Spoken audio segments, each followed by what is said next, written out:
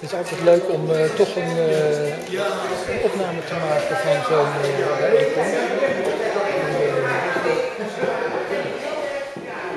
uh, ja. Hebben jullie dit al gezien? die toiletpapier? toiletpapier? ja, die rollen.